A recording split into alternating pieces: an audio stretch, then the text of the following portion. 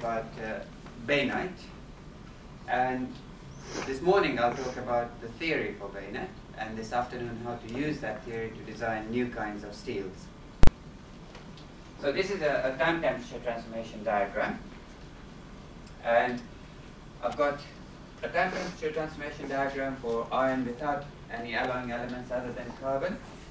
And here we've added some manganese, and you can see that that retards all the transformations. But the important point here is that when the reactions are slow, we can separate the time temperature transformation diagram into two regions.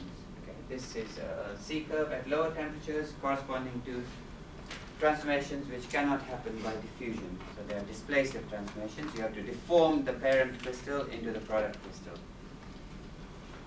And the reconstructive transformations where the atoms diffuse.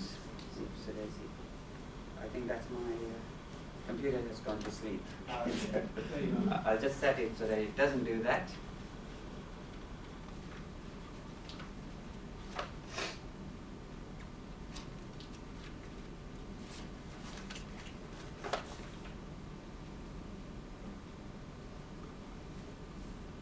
Sorry about that. Yeah. Okay, so we can divide the time temperature transformation into two regimes, one for displacive transformations, one for reconstructive transformations. And in a reconstructive transformation, you basically take your crystal, break all the bonds, and rearrange the atoms in a way which minimizes strain energy. And that requires mass flow, okay, so diffusion. These transformations do not happen at low temperatures because there simply isn't enough diffusion. When the reaction rates get fast, there will be an overlap because our experiments cannot detect the separation between the two curves. The experiments simply can't cope with fast reaction rates. So we see a single curve, but in fact it consists of two regimes which we can separate by calculation. So the published time temperature transformations do, uh, diagrams don't always show these two separate C curves. They often just show a single curve which is a consequence of overlap between two C curves. So in principle, the diagram consists of two separate regimes. And it is in this regime that we get the bainite transformation. Uh, the driving force isn't sufficient to support martensitic transformation, and I'll explain why it isn't sufficient. But nevertheless, there isn't enough atomic mobility to support a reconstructive transformation. So this is what the mic different microstructures correspond to. Martensite we've already covered. Here we have the diffusional transformations, the grain boundary ferrite that we often see, or the pearlite. Uh, here we have the different kinds of bainite. I'll go into those in detail. And there is also a transformation called Widmanstatten ferrite, which I'll cover towards the end of this lecture. And of course, they have their transformation start temperatures, just like we have the martensite start temperature. So, the difference between the so-called upper and lower bainite, and this is a, a microstructural classification which is extremely well established, is that when you form bainite at a relatively high temperature, the plates of ferrite are completely free of carbides, and instead you get cementite precipitation in between the plates of ferrite. As you lower the transformation temperature, you also precipitate cementite or carbides inside the plates as well as between the plates. Okay? So this is such a well-established transformation uh, uh, characterization that basically uh, any theory has to be able to explain why we get these detailed microstructures as a function of temperature. The scale of the microstructure is actually uh, much finer than that of martensite. So typically the thickness of the plates is about a quarter of a micrometer and they grow to a limited size of about 10 micrometers. Okay? So it doesn't matter how large your austenite grain is, they will grow to a certain size and stop growing, even if there is no obstacle, obstacle to growth. Whereas martensite, you know, is only limited by the grain boundaries of the crystal in which it forms. So th these are all the peculiar features of bainite that I'm emphasizing, which we have to explain. Why does it grow to a limited size and stop, and then you have to nucleate a new plate in order for the transformation to continue? Why do we get this particular dispersion of carbides as a function of transformation temperature? So this is what uh, upper bainite looks like in a transmission electron micrograph. Uh, you see the scale over here is one micrometer. So these platelets of ferrite are of the order of a quarter of a micrometer in length. Notice that they have very sharp tips. Yeah. Okay. This is another characteristic of a displacive transformation because, as I explained in the last lecture, it minimizes the strain energy to have a, a thin plate. And these are the cementite particles that we get between the plates of ferrite. So this is a partially transformed specimen, and you should ignore everything over here. Lower bainite, by contrast, this is a, again a transmission electron micrograph. You see the same scale of plates, but you also have these cementite particles inside the plate and at the boundaries. When we look at shapes, we really ought to look at three-dimensional shapes. Yeah, because when we look at 2D sections, the morphology can be misleading. It can, we can misinterpret the morphology. And this is a, a micrograph that was produced uh, by Srinivasan and Wayman in 1968, where this is an edge between two surfaces. Okay? So you can see that this continues onto this, so it truly is a plate shape. Okay? But notice the scale over here. This is 50 micrometers. Optically, what appears to be a single plate here actually isn't. You know, it consists of thousands of tiny platelets, and you can see that there is some detail contrast inside the plates, which we can't resolve using an optical microscope. So this is consistent again with the displacive transformation mechanism that the product assumes a shape which is a plate shape in three dimensions. And of course, we expect this from the strain energy argument that I presented in the last lecture. Okay, if bainite is a displacive transformation, then we also expect to see displacements when we polish a sample of austenite completely flat and allow it to transform to bainite. Okay. Now, given the scale of the plates, a quarter of a micrometer, that's just below the resolution of an optical microscope. Yeah, the wavelength of light is about 500 nanometers, whereas the plates are about 200 nanometers wide. So we can't use the normal techniques that are used for martensite to detect the displacements.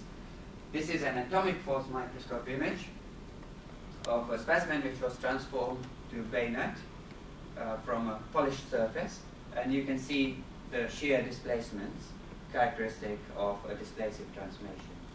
You can measure them quantitatively and you can show that the strains are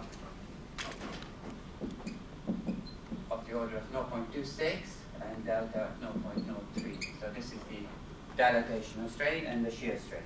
So that's again completely consistent with the displacive transformation. There is some detail in this micrograph which is really important. So this is the plate of bainite and you can see that the austenite adjacent to the plate has been deformed. Okay? Now when we observe the surface relief due to martensite, we see a displacement which is like this. Okay, so this is the plate of martensite, and this is the austenite. And these two sides are parallel. Okay? So the plate is elastically accommodated. With bainite, what we have is a plastic relaxation in the austenite adjacent to the plate. And this is because we are forming bainite at a relatively high temperature where the austenite is not strong. Yeah, its strength has decreased. And it can't accommodate that huge shear strain elastically. So it relaxes by plastic deformation. And that's the reason for this curvature here. Now, if you look at that region using a transmission electron microscope, region of austenite, it is absolutely packed with dislocations from this plastic relaxation. And that is what stops the plate from growing. Because we have to have a glissile interface to get a displacive transformation. If you remember, I drew the structure of the interface as an array of dislocations. So this is the product phase and the parent phase. If you put any obstacles in the way of that array, then it will be altered, just like work hardening. Okay? So the plate generates the dislocations because the shear strain can't be elastically accommodated, and then those dislocations prevent it from growing further, and you have to nucleate a new plate. Martensite is elastically accommodated, and therefore it continues to grow until it hits uh, a grain boundary. Now this is really important because it determines the microstructure. So this is uh, another illustration of the plastic accommodation caused by the shape deformation, whereas this is what you would see with uh, martensite transformation. So optically, what appears to be a single platelet of bainite, okay, look at the scale here, actually consists of thousands of tiny platelets. Yeah? So this is one of those optical plates that we saw. Thousands and thousands of tiny platelets which are halted prematurely by that plastic accommodation and then you nucleate a new plate in order to propagate transmission.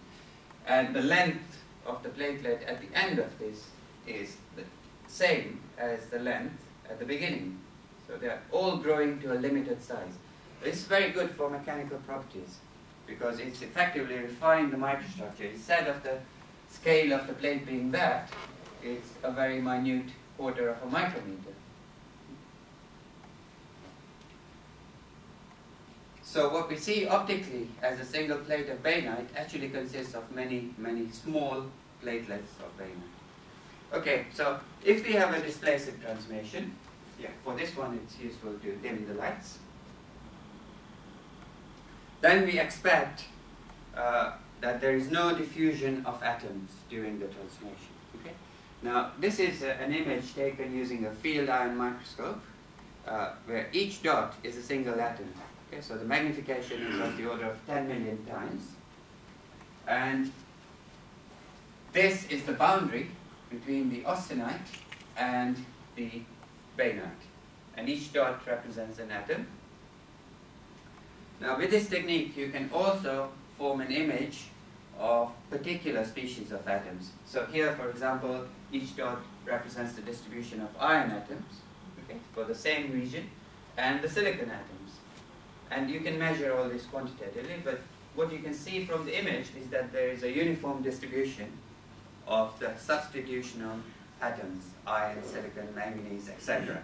so on the finest conceivable scale, there is no movement of those atoms, uh, no diffusion. But I don't know if you can see, the carbon seems to have gone on one side. There are no carbon atoms on this side, whereas there's a lot of carbon on the other side, and this is the austenite.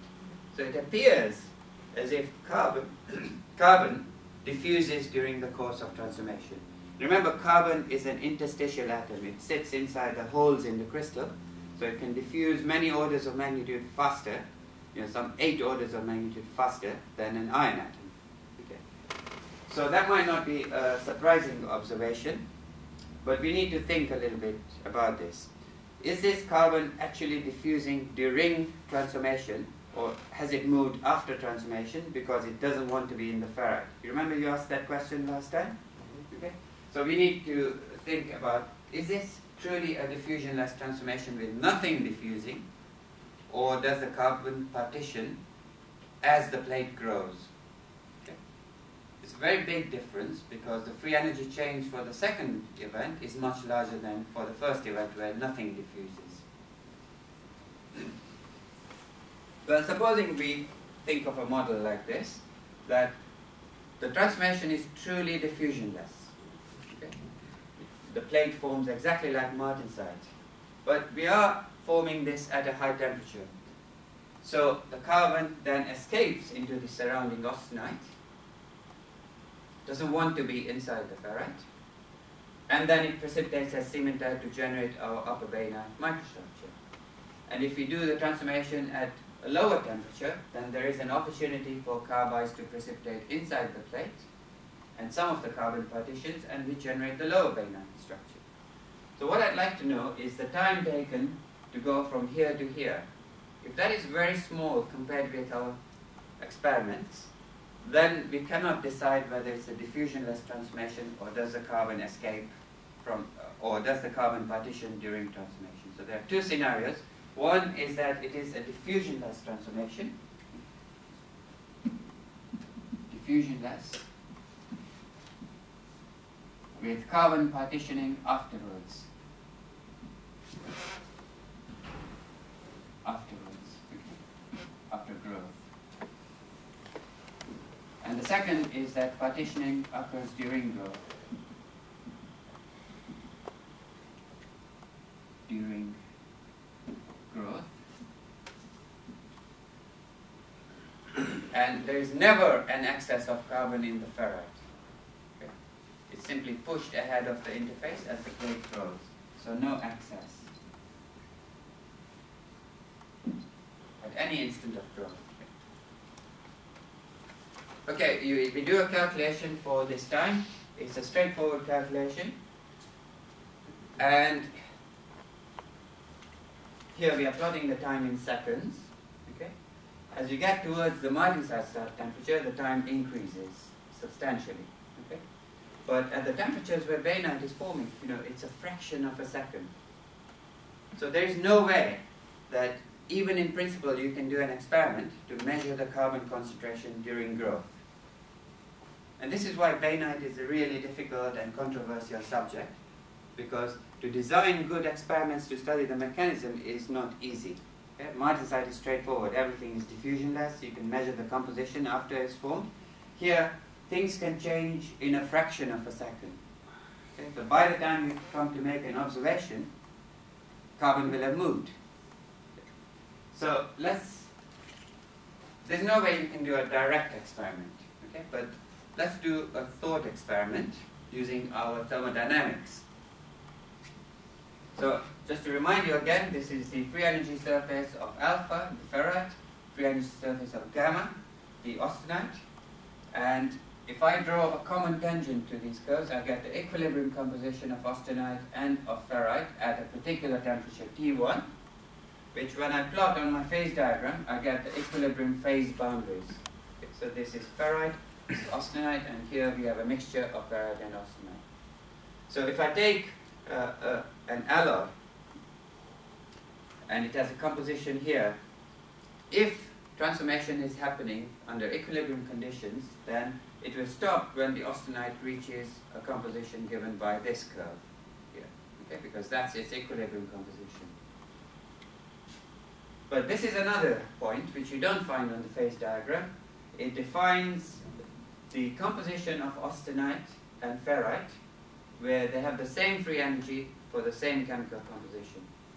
And if I plot the locus of those points as a function of temperature, I get the T0 curve. And the mechanism in which bainite grows without any diffusion cannot occur here because the driving force for diffusionless transformation is positive. So the first mechanism here, diffusionless transformation is impossible if the austenite composition exceeds this point here. It is possible in this regime. So why don't we do an experiment where we take a steel with a composition x bar, we transform it to bainite. So we get a plate of bainite forming without any diffusion at all, but shortly after growth it partitions carbon.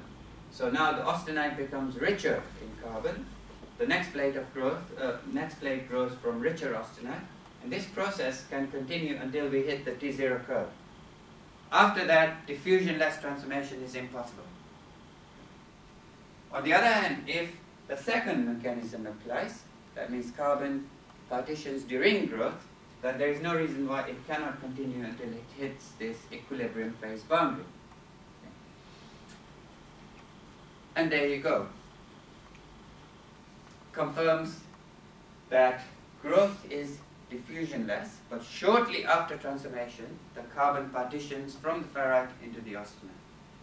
So the reaction is incomplete in the sense that this is what equilibrium demands, but this is where it stops. So this is known as the incomplete reaction phenomenon, that the transformation stops before the austenite has reached its equilibrium composition because the mechanism of growth is diffusionless. Now, of course, there are many predictions which come out of this model, that bainite actually grows without any diffusion, but shortly after growth, the carbon is partitioned. And one of them is that the growth rate will be very high. You know, it will be far greater than allowed by the diffusion of carbon. So this is a, a sequence of pictures taken using an instrument known as a photoemission electron microscope. Okay, so basically what this is, is a hot stage microscope where we can observe the transformation as it happens at a high temperature. You shine an ultraviolet light onto your sample and that causes the emission of electrons. And those electrons are being used to form the image. Because you need the high resolution to spot plates of bainite. You can't do this in a hot stage optical microscope. Okay? So just think of it as observing plates of bainite forming uh, in real time. So the transformation will start from somewhere here and you'll see some plates growing.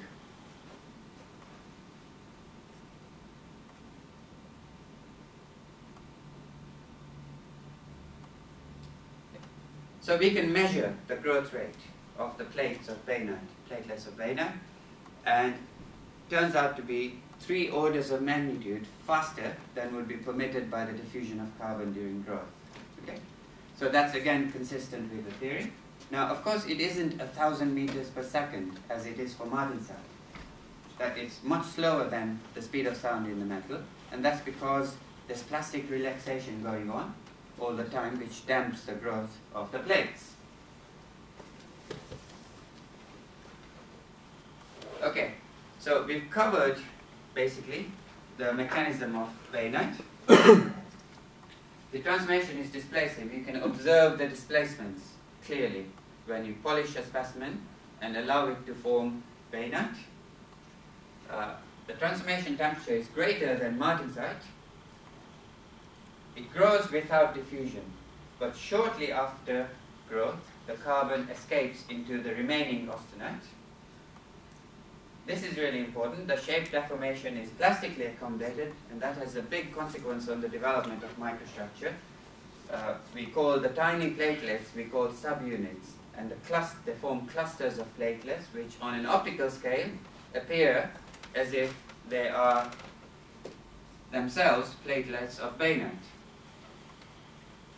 Now, the theory, of course, naturally explains, quantitatively explains, the development of upper and lower bainite because here the time taken to partition carbon is very small, so precipitation only happens from the remaining austenite. Whereas here, the time taken to partition carbon is larger, so there is an opportunity to precipitate carbon inside the ferrite, and you end up with a classical lower bainite microstructure.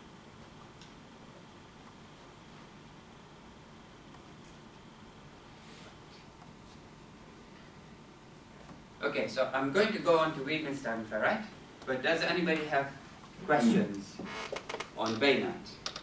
Now, uh, Harry, uh, you have a situation, say for example, in modern steel, you don't get a clear distinction of uh, upper and lower bainite. Right.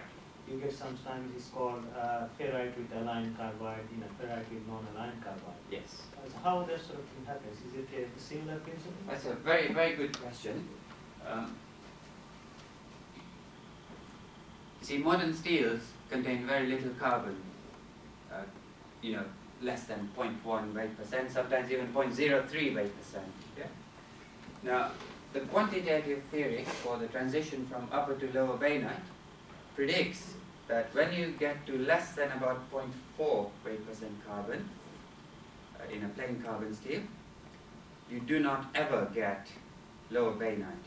So you start from pearlite, upper bainite, and you go straight to martensite because the carbon can partition so rapidly with the low carbon concentration that there's never an opportunity to precipitate cementite. Okay?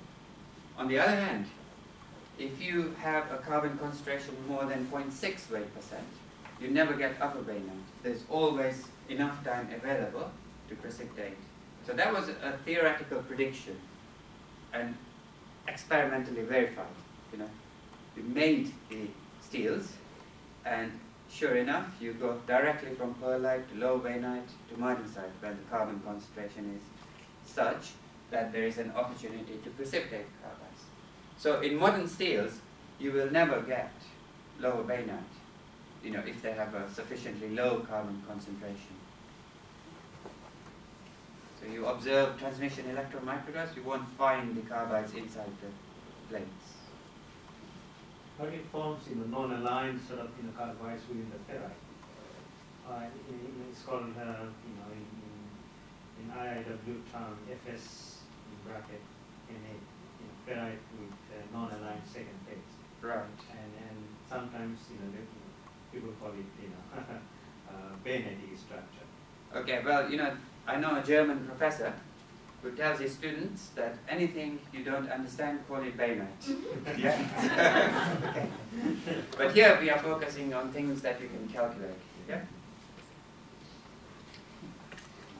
Yeah. You said the length of the bainite plate was about 10 microns. Mm -hmm. That's the same for both upper and lower, or yes. Yeah. Because it's determined by the plastic accommodation problem. Okay, so let me uh, carry on. What about yeah. alloy will change all this one? Yeah, absolutely. So um, the every aspect will be changed by alloying elements because the free energy changes. The free, uh, you know, delta G gamma to alpha changes. Um, even the free energy of the precipitation process changes.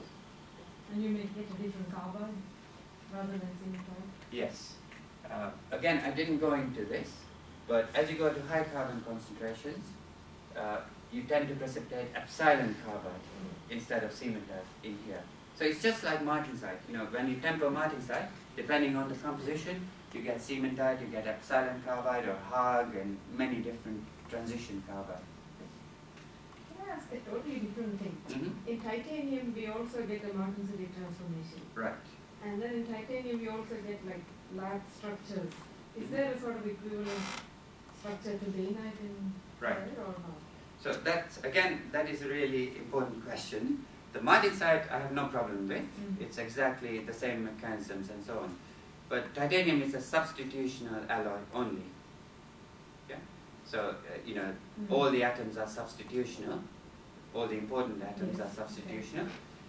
Uh, now I don't see the analogy because once you have substitutional elements partitioning, that means you have sufficient diffusion to just have a reconstructive transformation. You know?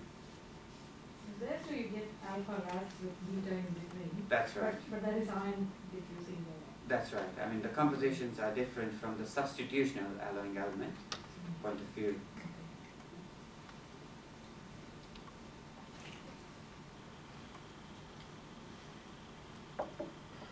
Okay, so just to follow on from Lada's question, yeah, this is a, a, summary of the two different mechanisms of importance that look, supposing we have this crystal here, and it's got square atoms and round atoms, and we've defined a unit cell here. Okay. To get a displacive transformation, I'm simply going to deform this into a different crystal structure here. So this is the new unit cell. Okay. And naturally, if I generate the new pattern by a deformation, then the shape of the crystal will change. Yeah? And that's where the displacive, you know, the displacements that we observe using atomic force microscopy or interference microscopy, that's where they come from. So this is a physical deformation. And furthermore, there is an atomic correspondence between this and this. So we know that this atom came exactly from this location in the parent, and similarly that this came from exactly that point. Okay? So that's called an atomic correspondence. Their neighbors are not altered. And this is the basis of the shape memory effect. You see, if I reverse the transformation, then I recover exactly the original atomic arrangement. So that uh, displacive transformation is dominated by strain. On the other hand, in a reconstructive transformation, I break all the bonds and rearrange the atoms into the different pattern without changing the external shape. Okay. Now how can I do that? Well, think of it as follows. First I do a displacive transformation. Then I cut off this triangle here and I transport it onto this side. That's the mass transport that's necessary to achieve the change in crystal structure without a change in shape. So this cannot happen without diffusion. Okay. Now, given that it cannot happen without diffusion, the square atoms really don't want to be here, and therefore they have redistributed into the product phase. So we will get partitioning of elements into phases where the atoms are happy. So that's the essential difference between a reconstructive and a displacive transformation.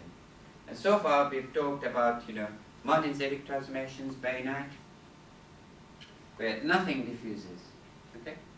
Whereas uh, with pearlite and ferrite, which forms at high temperature, these are reconstructive transformations. I haven't covered them yet, but I will do so tomorrow. and another analogy for a displacive and a reconstructive transformation is that imagine we have a queue of soldiers here uh, waiting to board military transport. And the transport arrives and they are ordered to board the bus and they do so in a highly disciplined manner. Okay? So the sequence of soldiers is the same in the bus as in the queue. There is an atomic correspondence. We know that the neighbor of 1 is 2.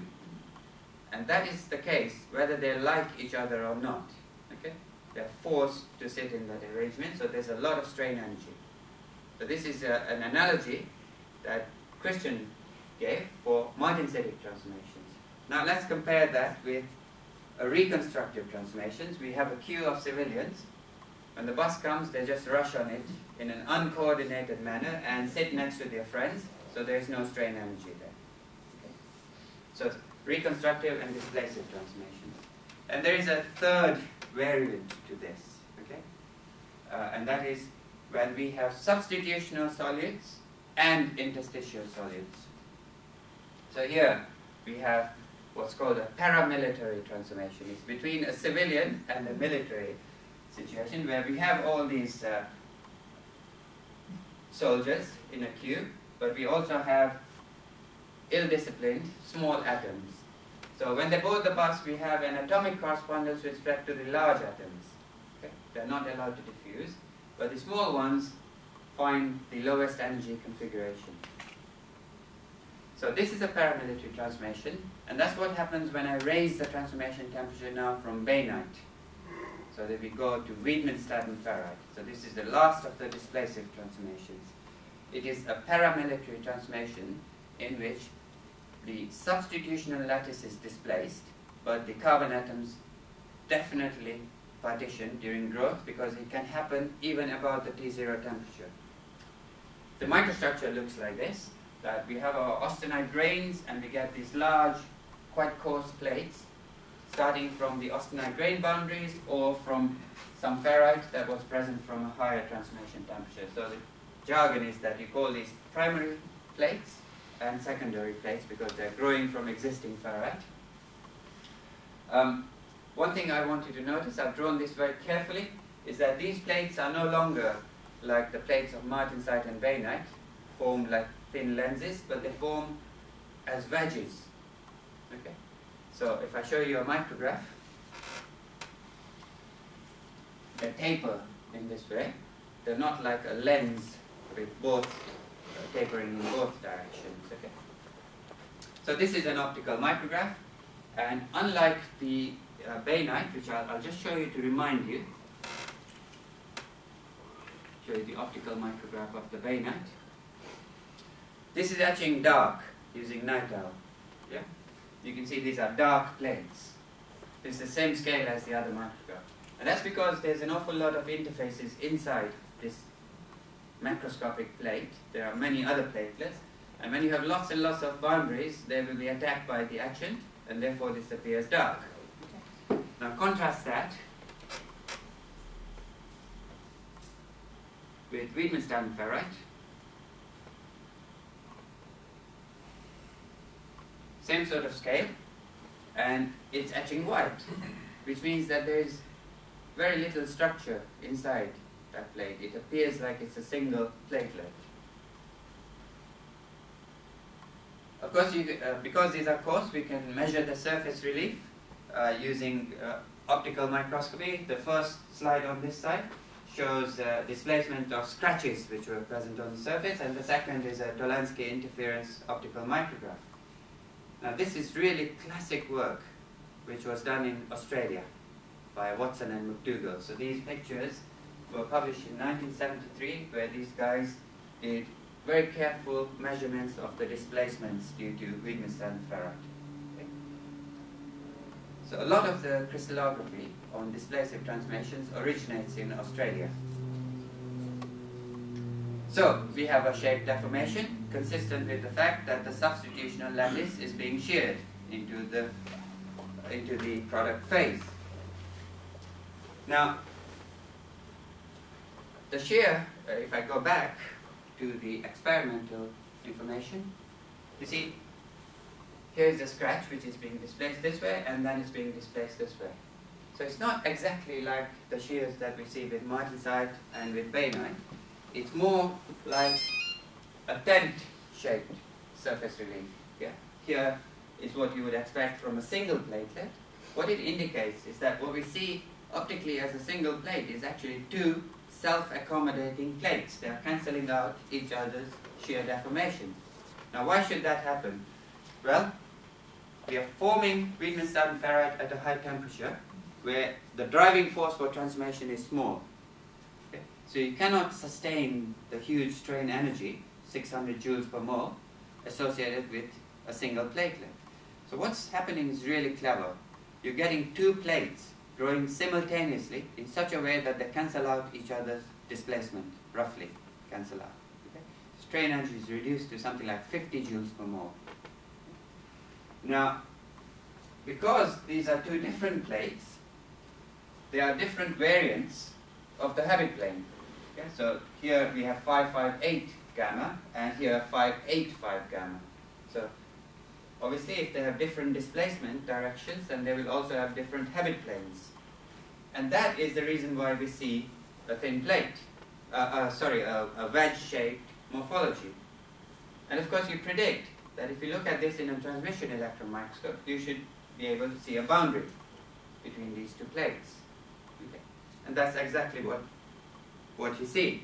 So this is what optically appears to be a single platelet, really consists of two platelets which accommodate each other's displacement to minimize the strain energy.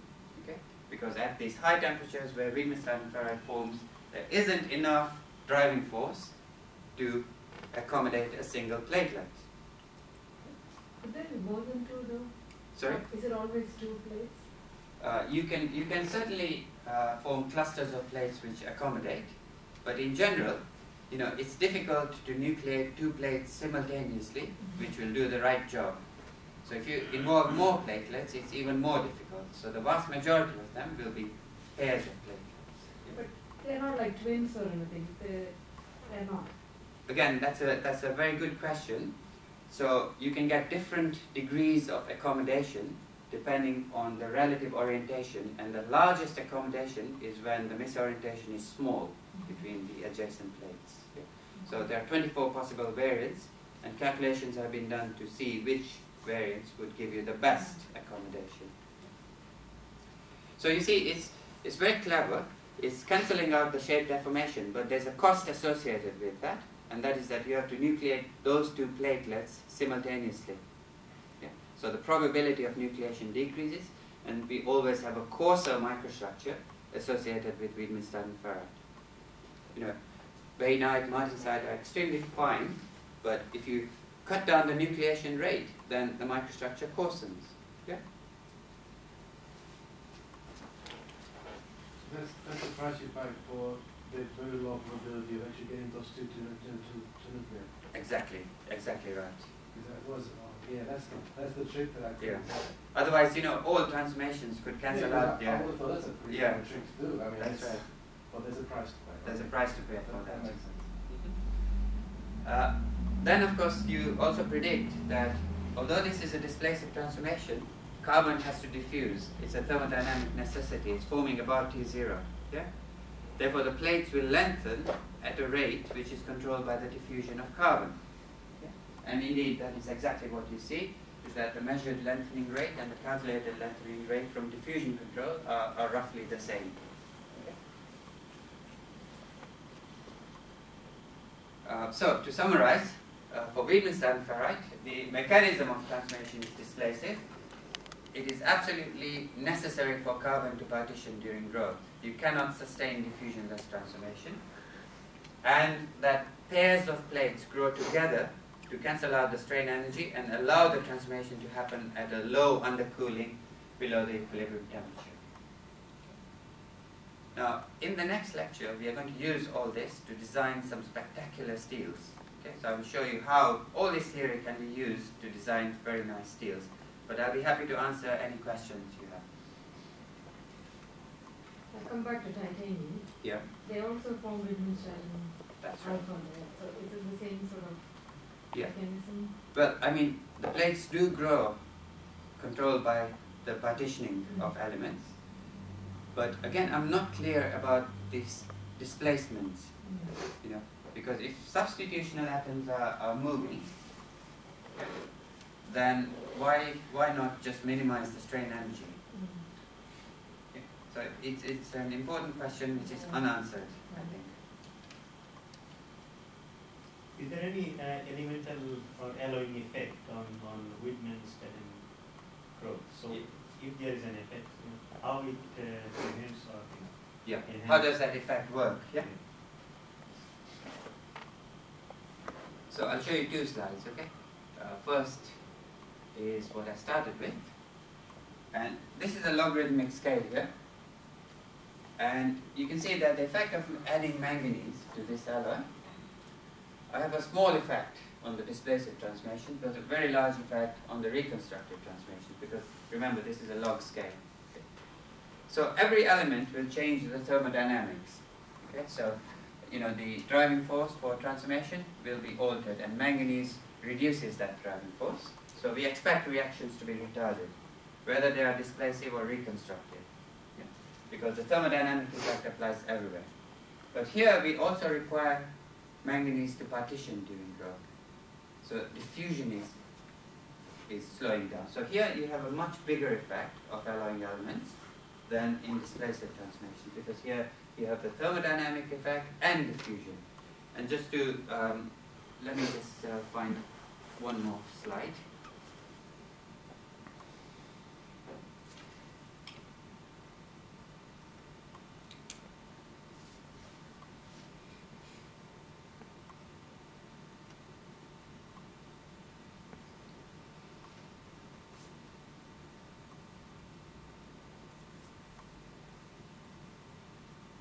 Just to show you how big an effect there can be, particularly of uh, of carbon.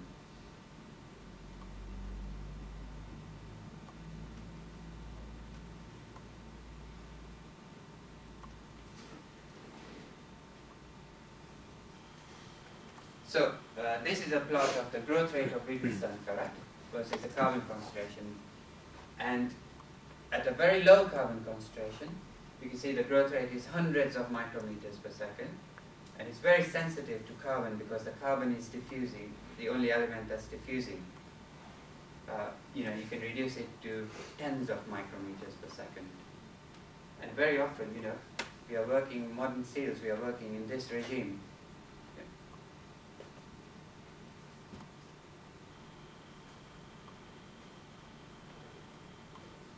There's no more questions. Can we thank Harry for the presentation?